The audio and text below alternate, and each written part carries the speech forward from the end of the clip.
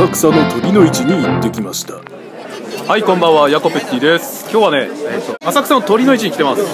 すごい人っすよ。これから神社行ってきたいと思います。すごく賑やかですね。唐揚げのあのタイついてる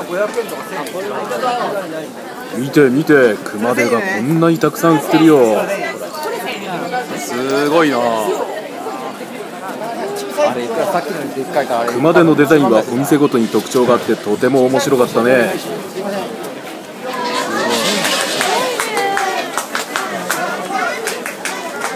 熊手を買うとみんなで三本締めをやるみたいだね。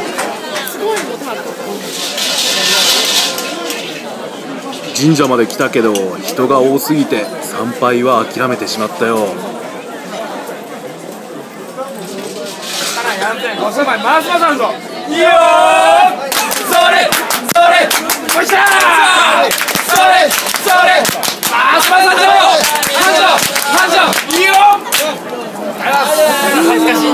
とにかく活気があっているだけで元気になれる場所だったよ。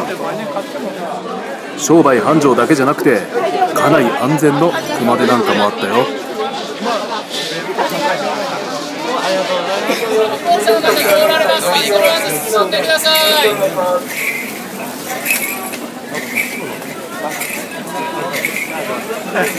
あのお払いしてる人この後は浅草の居酒屋で夜中まで飲んでた。